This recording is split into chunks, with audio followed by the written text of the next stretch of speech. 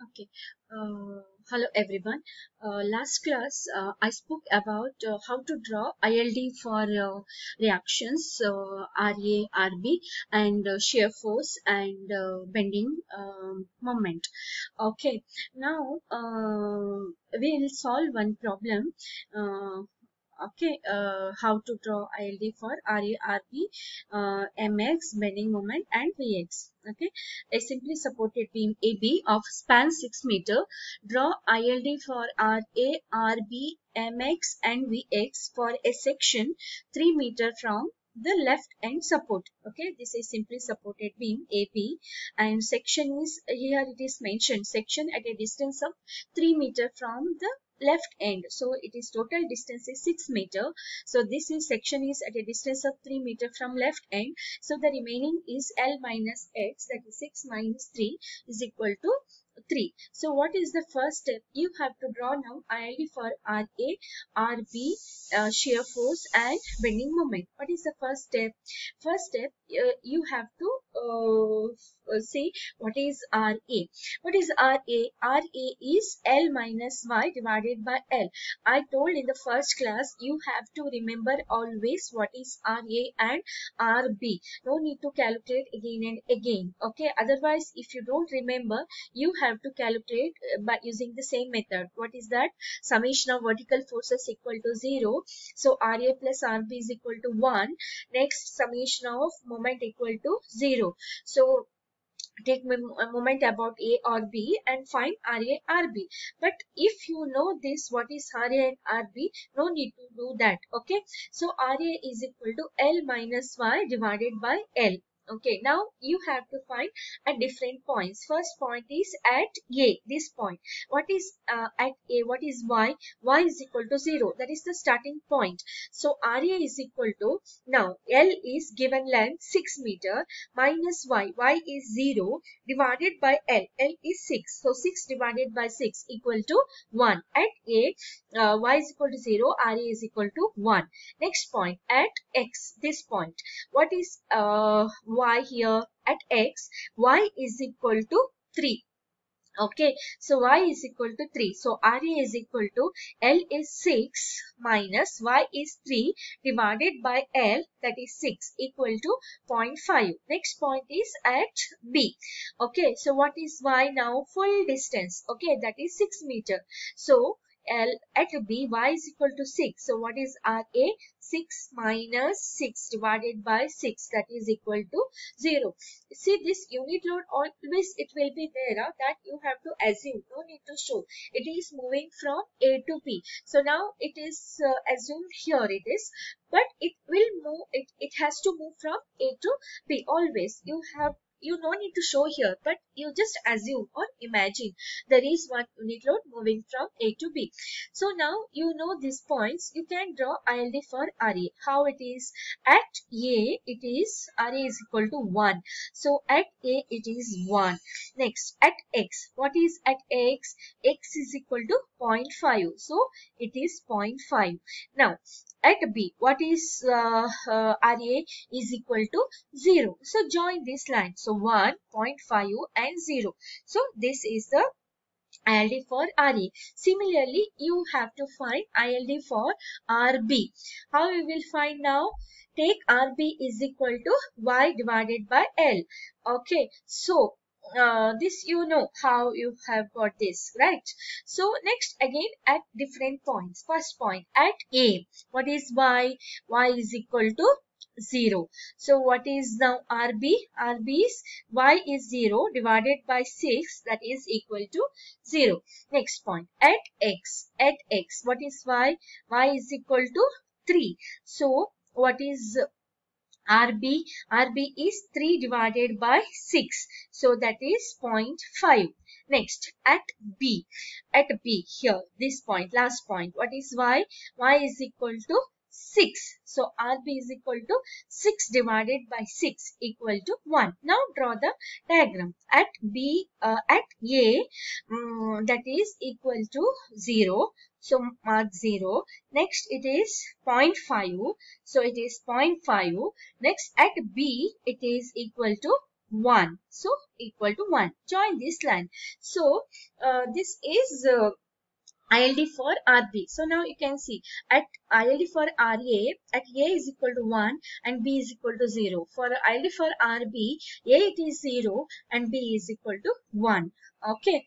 Next, you have to find ILD for shear force. Same thing. What you have to do, only the difference means you have to consider the section. Already section is there here given at a distance of 3 meter from the left end support. You have to assume the uh, two different portions. First portion is ax and next portion is xb. So when you consider ax that is left portion, you have to assume unit load is between a and x. Okay. So now consider unit load is between a and x. What is shear force at x? Shear force at x is now this is i i didn't write here. You write ra and rb here. What is shear force at x? You can consider anything. You can select from this side also this side also. If you take it from here that is minus RB because right side upward negative. If you consider from this side RA left side upward plus RA then this minus 1 will be there RA minus 1. So anything you can consider but I'll take from this side okay which side there is no unit load better to take that side. Now unit load is here you take it from this side so that is just we um, shear force at Is minus RB. You know what is RB? RB is Y by L but here this is minus is there. So minus Y by L. Next at different points you have to calculate. First point is at A. What is at A? Y is equal to 0 unit load moving from A to B. So at A it is equal to 0. Then, so what is VA now? So shear force at different points. That's why I have written here A. Shear force at A. So what is Y? Y is 0. L is 6. So it is 0. Next point. Next point is at X. At X Y is equal to 3. So what is uh, Vx? Shear force at X. That is uh, Y is 3 and L is C. So 3 divided by 6 that is 0.5 but minus is there minus 0.5.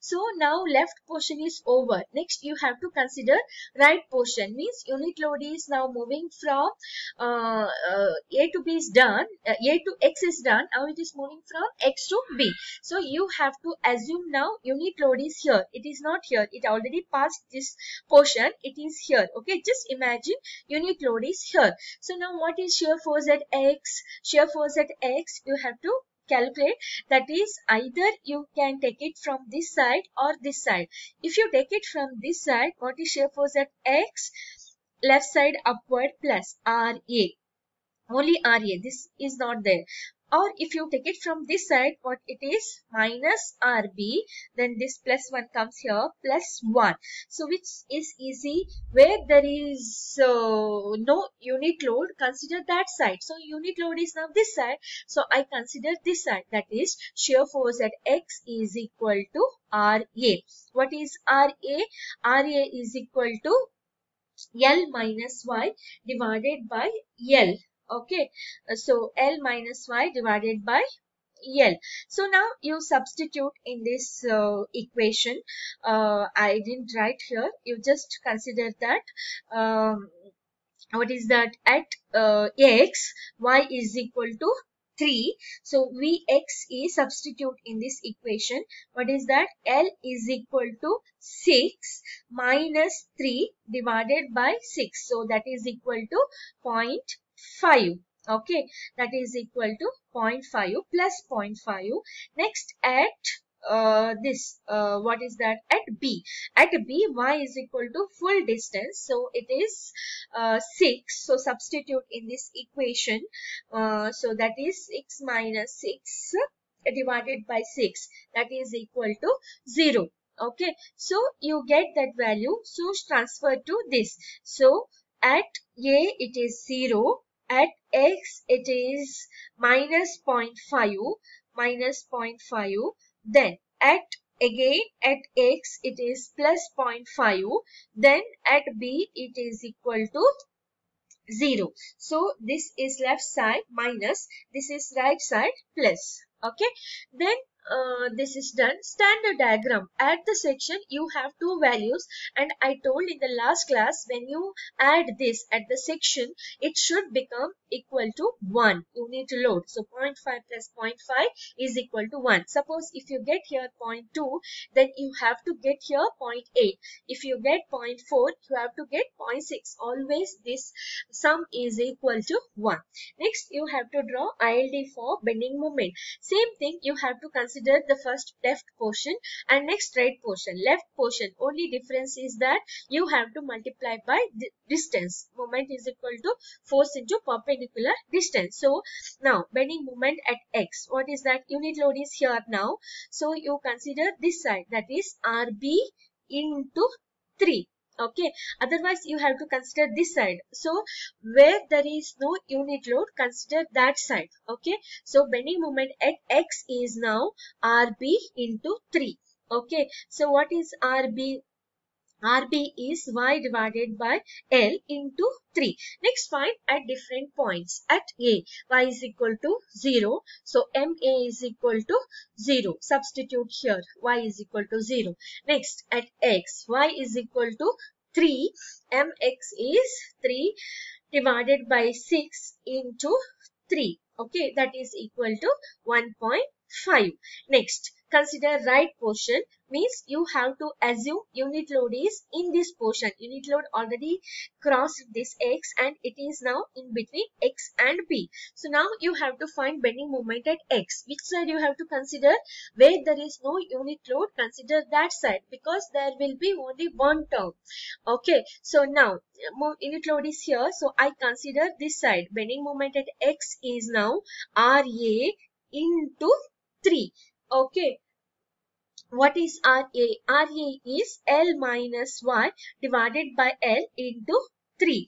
So now substitute at different points at x. y is equal to 3. So mx is equal to 6 minus 3 divided by 6 into 3. So that is equal to 1.5 at B. Y is full distance 6. So MB is equal to 6 minus 6 Uh, divided by 6 into 3 that is equal to 0. Now transfer this point to the diagram. So what is that? At A it is 0 at a it is 0 at x it is 1.5 at x it is 1.5 next consider the portion uh, xb at x again it is 1.5 1.5 at b it is 0 so join this line. So i told in the last class at the section bending moment will be maximum and it is always same at the section. When you consider from the left side or when you consider from right side at the section you should get the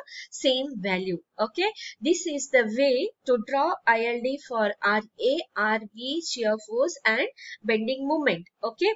RA without section you just consider what is RA and find at different points. RB without section at different points fine. Then shear force. Here you have to consider the section. So first consider left portion next consider right portion. When i mean unit load is first in between ax and next it is in between x and b. So find shear force at that point and find at different points. Okay same thing for bending moment also. Find the um, i mean you have to consider the section. So first consider left portion and then consider right portion. Means unit load is first in between a and x. Next it is in between x and b. Once a bending moment at x. So always better to consider uh, shear force and bending moment where there is no unit load then there will be single term no, single term. So it is easy to calculate okay? Once if it is done you have to calculate at different points. Once if you get that point directly you can uh, transfer to the diagram okay? This is the way to find. This is a basic step to before starting any problem. Okay, thank you